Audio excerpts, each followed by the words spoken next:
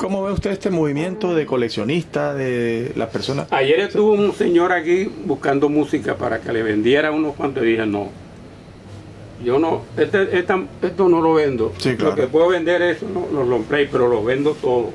Ajá. Porque yo que venga uno, eh, a mí me pasó con un una persona que vino aquí y me, y me escogió 200 discos. Yo le dije, bueno, te los vendo a 50 mil pesos cada uno. Bueno, está bien, pero yo me voy a llevar primero 40, eh, 50 y después vengo por los otros y no vino más, se llevó lo mejor. Ah, Entonces ya, me curé, yo dije, no, Sí, claro. no hago más nada. con- Le dije al señor, vea, búsquese una plata y me viene y me ofrece. Ahí hay 3.000 discos. Ahí hay bastante música de la costa y hay salsa y todo, hay de todo. Mm. Bolero, hay bastante bolero. bastante. maestro, ¿y usted por qué quiere salir de eso? Si esto es un patrimonio. No, no es que quiera, sino que eh, eh, supuestamente ese muchacho me dice, mira, ya la discoteca de de Arnoldo Rojas la, la- la vendieron, la, la de de Vendride ya la vendió, Gastón vendría. la de eh, ¿Sí? Tomasito Arrao la vendió, ¿Cómo va la de todo, todo, y, y- pero ¿Y a quién ¿cómo se la venden? ¿A quién? ¿Y quién, quién Es que aquí vienen muchas personas, aquí a Barranquilla, de, de- De México. Sí, de México, de, dicen que de, de- de la Argentina, de, Sí. sí, vienen a buscar la música acá, por, no sé, por las raíces, por la cosa, buscar la, la- Sí. la- la información, Sí, así sí, por sí. lo menos, yo digo que estos son documentos Sí, históricos de sí, la música sí, sí, sí. costeña. Es lo que no lo Un tiene. documento- Preserva el patrimonio. Entonces, y, y de- y también de, eh, ¿cómo es? Venezuela, de aquí, ¿cómo es? De, de aquí del interior, Sí. Bo- de Bogotá, Medellín, Cali. Mm. Es un movimiento que hay permanentemente. Sí. Sí, de gente, Sí, sí. no son muchos, pero Sí. eso Esto sí no lo vende usted, no, maestro, no, esto Esto no. No, esto no. Hay un señor que me dijo, con tal, tal, tal. Me ofreció 10 millones de pesos por eso. No, pero no es nada. Yo le dije, no, No, no. búscate 20 y, y de pronto hablamos. No, maestro, pero yo, esto no tiene precio, esto es invaluable. no, eso no tiene yo. precio. Pero bueno, usted lo tiene, usted tiene eh, respaldo en archivo digital. Sí, Ah, bueno, así sí. aquí viene un señor de, de, de, México que tiene bastante música. Dicen que tiene un edificio lleno de puro disco. Qué vaina. ¿eh? Increíble, ¿eh? Lo creo, lo creo. No, no, así, porque él heredó de la- del papá que siempre ha sido eh, coleccionista. Sí. Y entonces como que todos ellos son coleccionistas, los, la familia. Un edificio Y ese señor, sí, ese señor vino, maletín y todo, dólares y no sé qué tal. Y ahora dice, güey, me dio, voy a echar un vistazo aquí. Trajo un- una, una lamparita y se la puso aquí. Mm. Así como esa lamparita De, min, de minero. que usaban sí. que para cazar conejos. ¿no? Yo me acuerdo por lo menos Sí, usaban sí, ese sí, para cazar conejos. Ah, Y, y el señor empezó, a- apartó 50 discos. De los 50 discos, yo me di cuenta que habían 30 que no me decían nada, a mí me explico, pero a él le decían mucho. mm. Qué bien. ¿eh? Y 20, miércoles que sí me, me dijo, yo se los voy a pagar a 50 mil pesos cada uno. Y yo, ¿Cómo así? A mí me puso a temblar ahorita. y se llevó los 50 y los 50 mil pesos cada uno.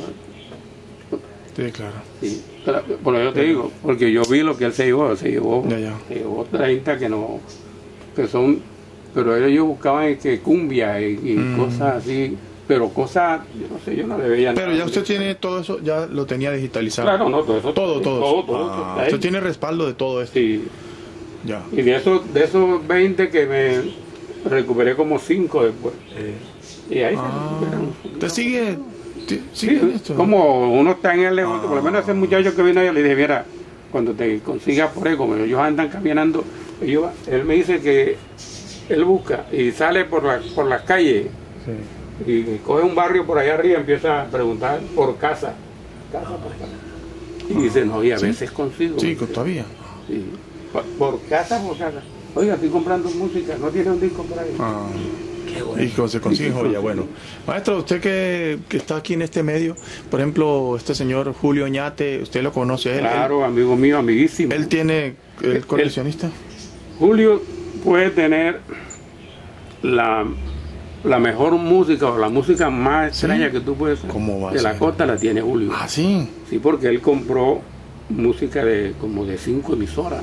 Ya, Ah, Sí, le compró la música a Esper, a Roberto. a Roberto ¿Sí? Le remató todo. Yo estuve allá en esa bodega ¿Cómo va a ser?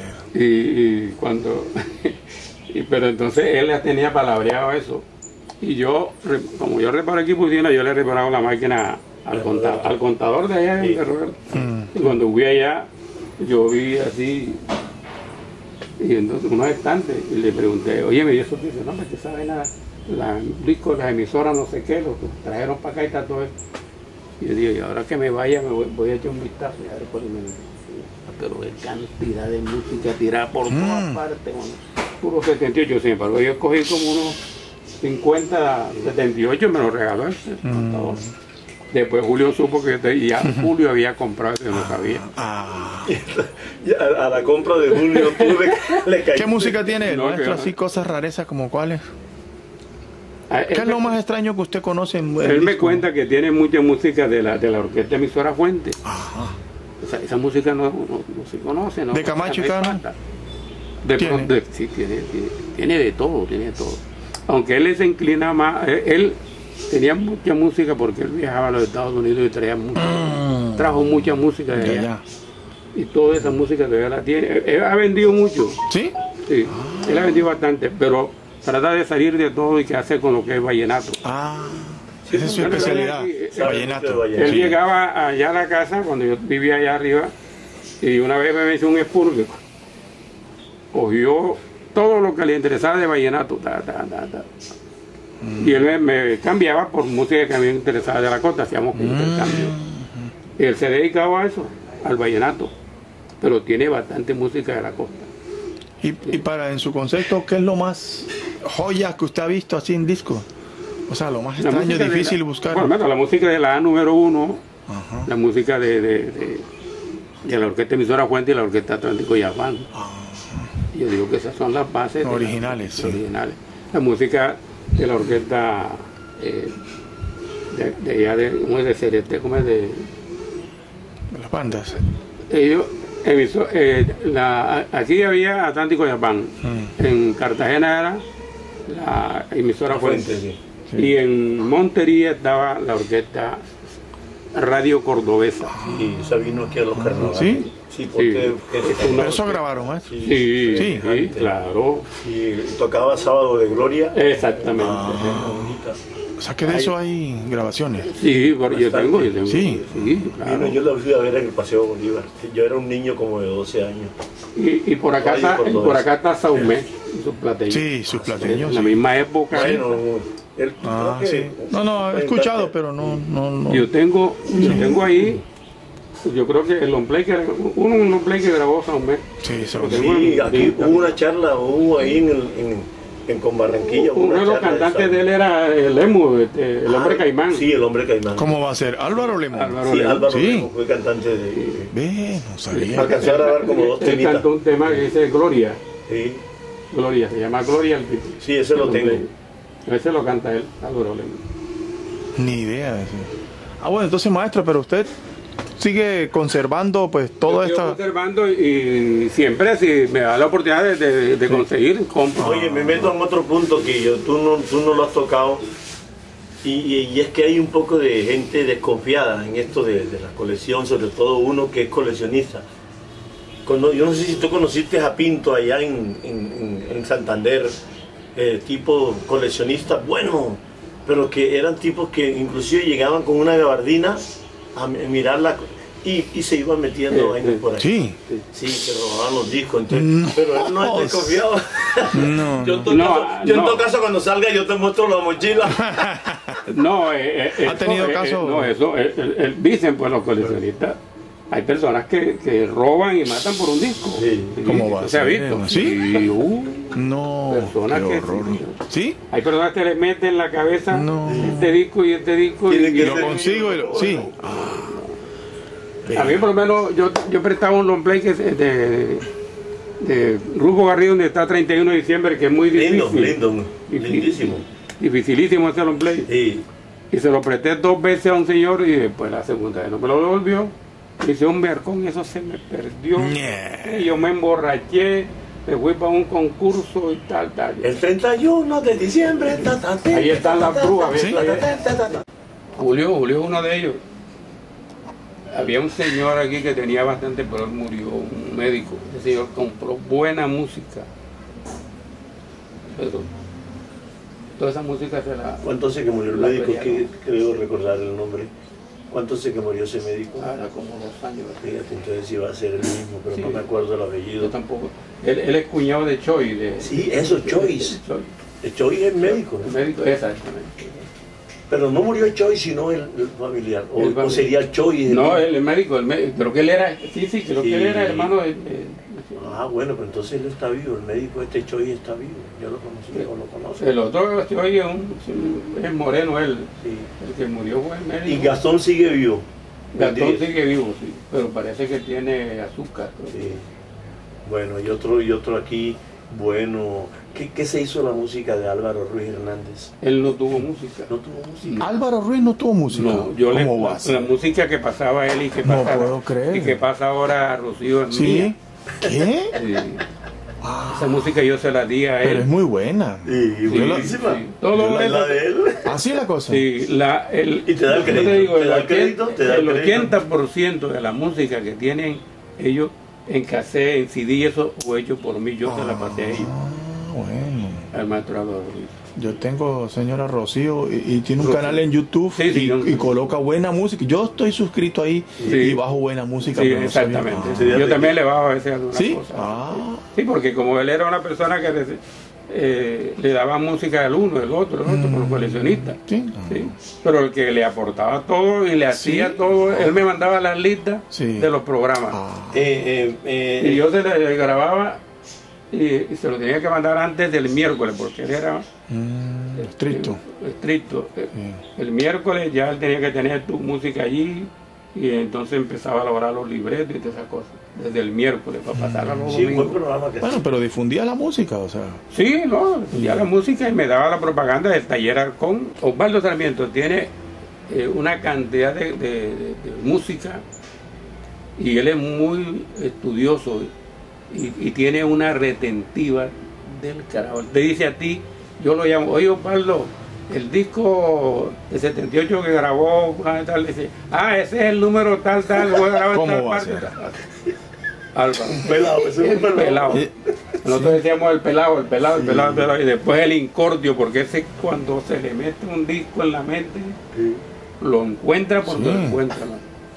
Coleccionista bravo. Coleccionista entonces. bravo, puedes buscártelo. Ah, vive en Valledupar, ¿no? eh. Vive en Bogotá ahora mismo. Bogotá, sí, ¿Vive en Bogotá? Sí, ahora mismo está viviendo en Bogotá. ¿Cómo va a ser? Sí, Yo pensé sí. que él estaba era en Valledupar. No, Él está en Valledupar, pero ya se fue para Bogotá otra, Otra vez, Sí. ve, y, bueno. y empezó otra vez el Ah. negocio que tenía antes de, de- está enseñando a tocar Acordeón, acordeón, y, sí. y vende acordeón y todas Ah. esas cosas. y ya los a compra, si están sí. dañados los compra y los manda a arreglar, Ah, arreglar. Qué bueno, ¿eh? Sí. Bueno. Ah, entonces tú sabes de él, ¿no? Sí, sí. Siendo un pelado, pues, eh, ya veterano. Sí, sí. Sí, Maestro, pero- ¿y en Cartagena usted conoce coleccionistas? No. Ese señor que tiene un, una- una- un- todo un bar que se llama Vaya donde no sé quién. Ah, eh, ese- un man que pero tiene ese de música salsa, ¿no? Ese De de- pura salsa y. Ahí en la. Pero debe ser solamente salsa. Salsero, sí. Donde no sé quién. Sí, yo sé quién es. Hay, personas donde- esas que, que- que se, se les da por comprar música solamente para, para. Sí, ya, sí. Música discoteca. No son coleccionistas. No son colectivistas. ¿Cuál es? A su negocio. Por tener música ahí. Por lo menos tú vas aquí a la troja, Sí. tú sabes, a la Sí. troja, y hay una cantidad de música ahí bárbara. Mm. Sí. ¿Quién le Pero antillana, eso. Mm. ¿Quién le surte a, No, a había un amigo, eh, Juan Jaspe, yo no sé si ustedes conocen a No. Juan Jaspe. Juan Jaspe eh, y los vendedores de música, todo eso le, le venden a madera. A Madera. Juan Ma- a Madera es el, el dueño, de, Mm. dueño. de la troja. ¿Y tú sabes dónde nació la troja y por qué le dicen la troja? No, La troja nació en la carrera 46 frente al, al Surizo al Salcedo. Salcedo. Sí, claro, ahí lo conocí. había un parqueadero. Y el señor, el, papá de los papás de ellos, cuidaban ese parqueadero. Ellos no, eran personas muy humildes. Ellos eran los cuidanderos de ahí. Y al viejo, con un radio, una vez se le dio por, por tener, vender una cerveza o no sé qué ahí. Y empezó así la, la, la cuestión ahí. Hasta que después compró un equipo. Y le dicen la troja porque eso era una enramada que él puso ahí afuera para que lo para, para protegerse. protegerse del sol. Una enramada. Y yo creo que tenía hasta una trojita ahí, no sé, porque a- antes se usaba mucho eso, en vez de asiento, se hacían una, una troja de, de caña brava o de caña de corozo, se hace una trojita, se ponen cuatro o cinco talitas y se pone se una trojita.